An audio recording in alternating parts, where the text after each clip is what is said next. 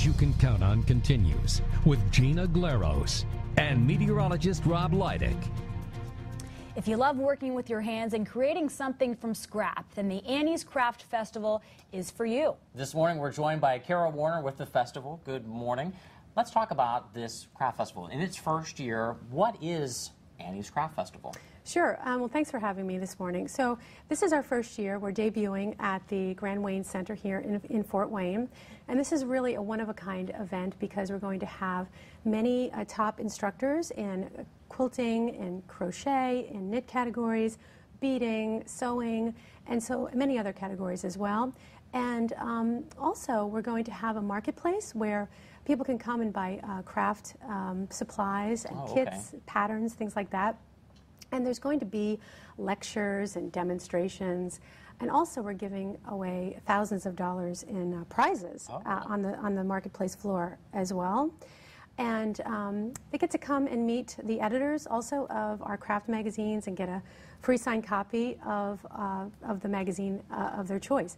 And I want to also share some of the nighttime events that are Sure. happening. So we have a really uh, great gala dinner on Friday night with uh, New York Times number one best-selling author Debbie Macomber. So I don't know if you've heard of Debbie, and she's also the keynote speaker at the event. And then we also have a uh, Halloween party. It's a crafts and cocktails party, uh, so you don't want to miss that. It'll be a lot of fun. Sounds like a lot of fun to me. Yeah, that's awesome.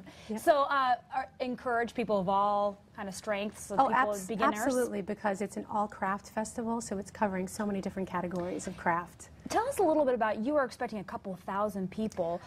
Is that first year, so probably year- hard to gauge. Mhm, So it's going to be a really big event, and people are going to be coming from far and wide to attend. And Rob, you had asked, who is Annie? It's a it's a company. Tell us a little bit about Mm-hmm. sure, your company. Sure, Annie's is um, it's part of the a third generation Musselman family uh, in Berne, Indiana, and um, it used to be called Economy Printing Concern back in the day, and it was started in 1925.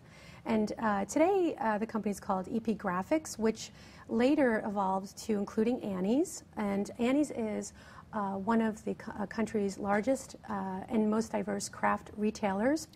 And we're most known for our website, which is anniescraftstore.com. And we have craft publications and top newsstand publications uh, Crochet Magazine, Crochet World, uh, Creative Knitting, Quilters World. Oh, gosh, we have so many. Um, uh, Card Maker Magazine. And we have a nostalgia magazine called Good Old Days. Oh, okay. And a home decor magazine called Country Sampler. Wow, you guys Very are cool. busy. Perfect event to get ready for fall. Absolutely. right, and we have a. TV show, a PBS Oh. TV show called Knit and Crochet Now. Well, you do it all. Yeah, we do it all online classes and craft themed mystery novels. That's awesome. Very Thank you so much for coming Yes, in. and good Yeah, luck with yeah. the festival. It runs October 30th through November 1st at the Grand Wayne Center. For more information, head to anniescraftfestival.com.